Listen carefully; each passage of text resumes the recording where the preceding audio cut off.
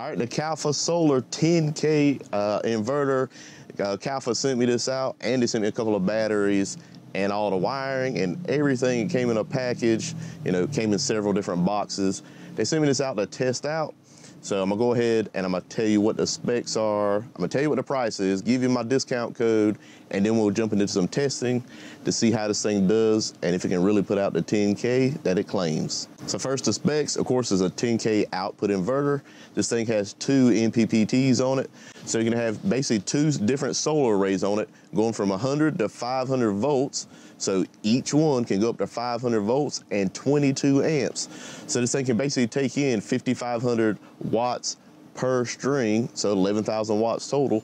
So this thing can really put out some power and bring it in at the same time. It's gonna bring in a little more than it's putting out, which is a good thing. You know, if you put 11,000 in and try to take 10,000 out, maybe you'll be able to get that. Basically, this has an AC input as well, and it has like a 63 amp uh, uh, overload, so it can go up to 63 amps, you know, coming in if you have the grid power tied into this, you know, and if your batteries get low, you can set it to charge your batteries back or just to bypass completely and go straight through the inverter to your loads and it'll work.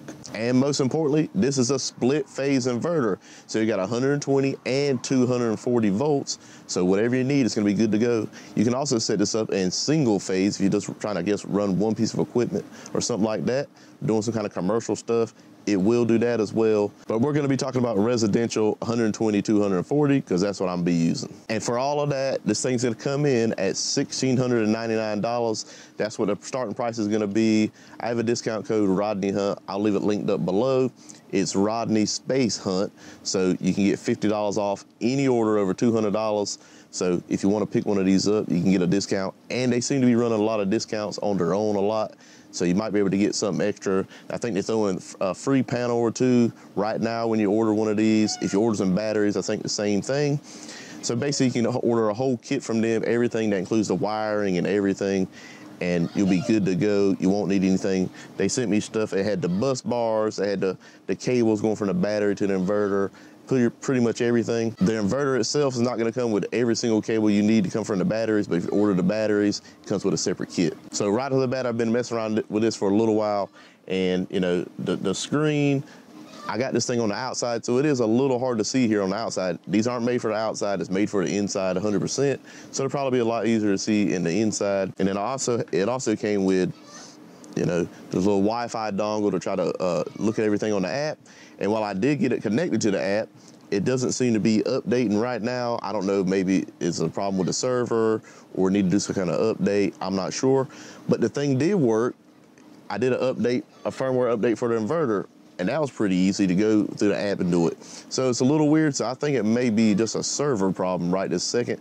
So we'll do some more testing on that later. All right, as you can be able to see, you know, the screen is pretty visible. I'm in my garage right now, so it's real easy to see.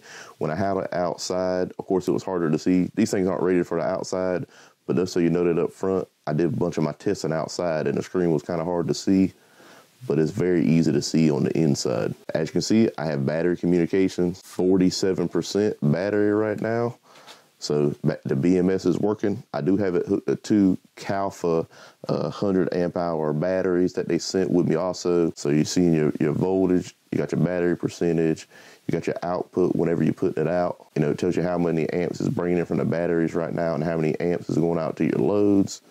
So 0.2 uh, load going to the AC, which is just basically it's putting some out there and it's not being used, and then one amp from the battery just to keep the inverter running. And it's kind of windy outside today, so hopefully the audio is coming through good. I'm gonna do another video on the complete setup of this thing. Right now, we just wanna test it to see if the thing actually works. I got a 50 amp plug, got a 30 amp plug, got a couple of 120s over here. We're gonna go ahead and hook a few things up. Gonna start out with my car and hook that up and see what it does and charge it at, you know, uh, maybe about 4,000 watts. Now I'm gonna plug my car up.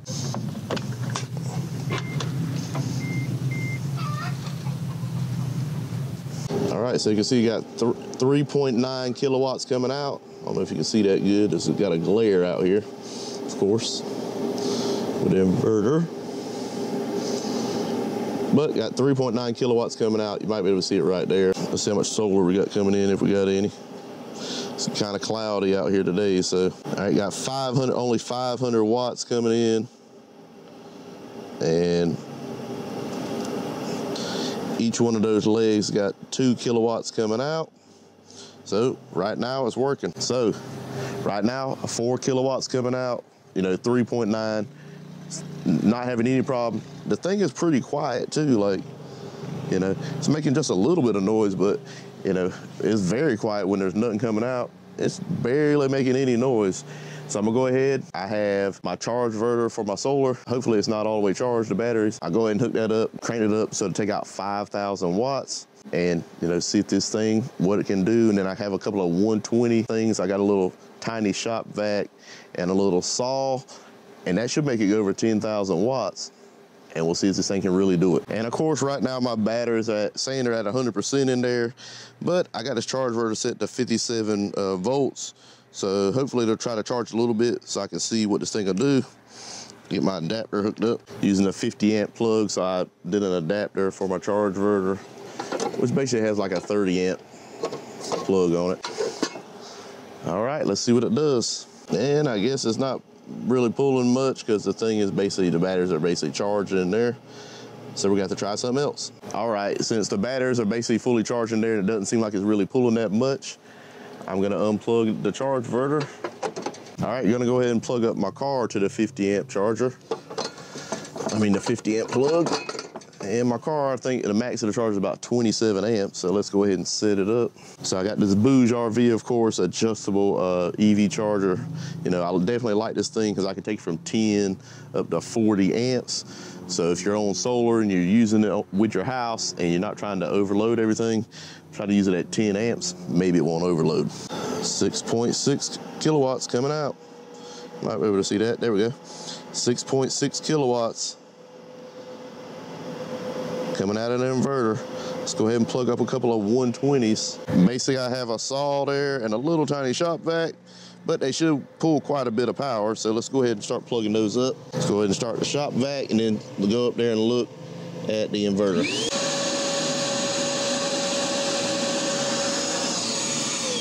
So as you saw, it's hard to talk over that shop vac, but I had 7.3 kilowatts coming out. You turn the inverter back off, it goes back down to 6.6. So let's turn the shop vac on, and then we're gonna try to turn on the saw and see what happens.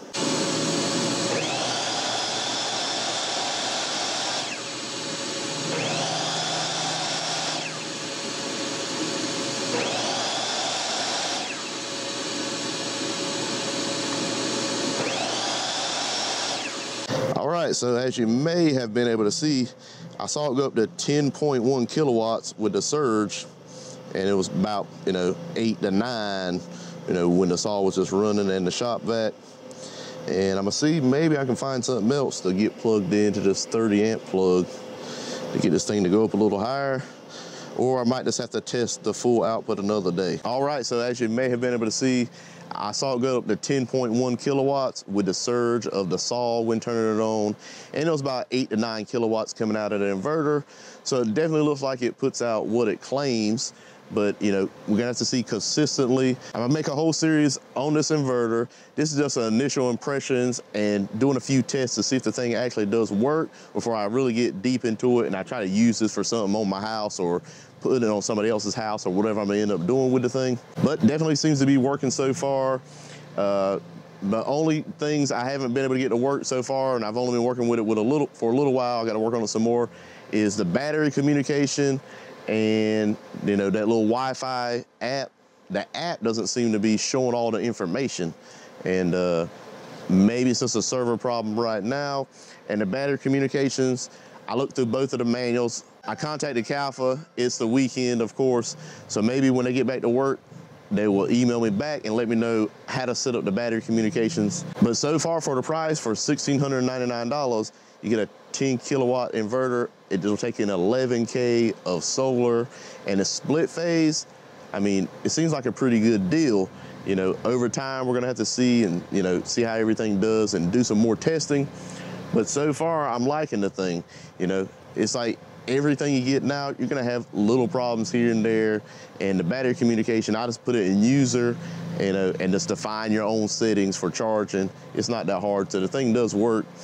but you know, that, that server for the app, maybe that's not working but we're gonna do updates on all that, do a whole series. But you let me know, what do you wanna see me do with this inverter to do the testing? You know, there's a whole lot of stuff you can do. I'm definitely gonna try to do the surge and see how high the thing can go.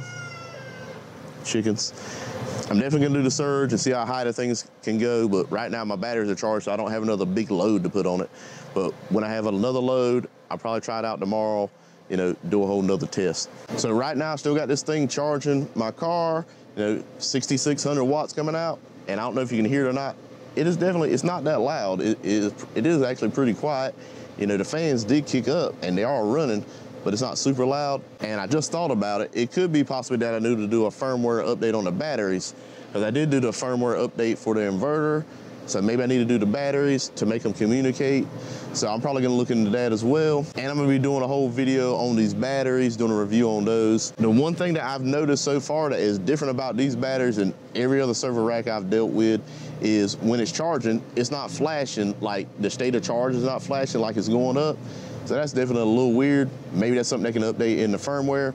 You know, the inverter's saying it's, it's charging. So, I mean, you know from that, but I'd like to be able to look at the lights on the on the battery, so maybe they can get that updated. But for what it is, uh, it, it, was pretty easy to connect. They sent me all the cables. It even came with the cable that goes to your AC power. You know, so that was pretty cool. You know, it didn't come with the breaker that goes in your AC panel, but it did come with the cable. You know, when you get a whole package with the batteries and everything, I mean, that that's pretty cool there. You know, most of the time you're gonna have to buy a lot of stuff separate. So for the price, this stuff is actually a pretty good deal. You know, it's just about the long term. Is it gonna work? So remember, if you like this kind of video, go ahead and hit that subscribe button, hit that like button, and thanks for watching.